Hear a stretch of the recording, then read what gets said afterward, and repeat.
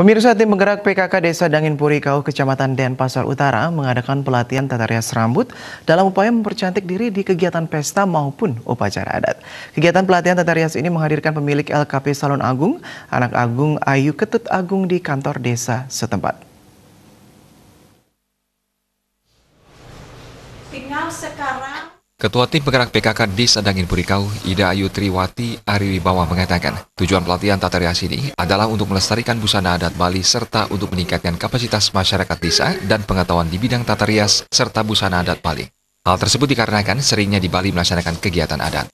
Ke depannya para peserta dapat menjadi perias sehingga mampu menambah pendapatan keluarga. Ditambahkannya, pelatihan ini juga untuk meningkatkan keterampilan ibu-ibu dan para kader PKK untuk tata rias sehingga mereka minimal bisa merias diri sendiri tanpa harus pergi ke salon.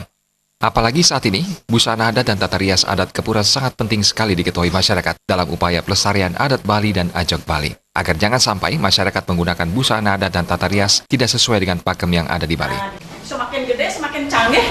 Uh, tidak lain adalah untuk melestarikan budaya adat Bali, ya khususnya di Denpasar, pada umumnya di Bali mungkin. Jadi yang kedua juga adalah untuk uh, memberikan pelatihan ya kepada ibu-ibu mungkin Diki diprioritaskan kepada ibu rumah tangga. Uh, ya tujuannya tidak lain adalah untuk uh, pemerataan ekonomi. Mungkin nanti setelah beliau ibu-ibunya sudah bisa melaksanakan itu mungkin juga dipakai untuk meningkatkan uh, penghasilan rumah tangga kecil.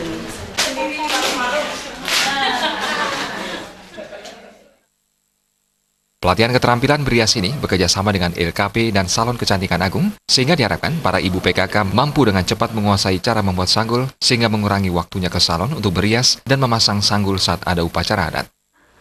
Biar natural seperti. Uh, kebetulan pelatihan ini kita bekerja sama dengan uh, Salon Agung, mungkin yang setiap tahun uh, kita sudah laksanakan, mungkin yang sudah berapa kali. Jadi harapan ke depannya uh, biar secara tapi uh, kontinu diadakan setiap tahun karena ini sangat bermanfaat bagi uh, masyarakat seperti ini.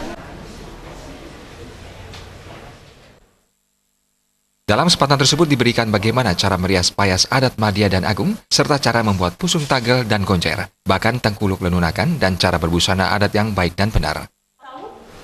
Ya, pasang. Uh, boleh nih, Anggana. Jaya Kusuma Bali TV.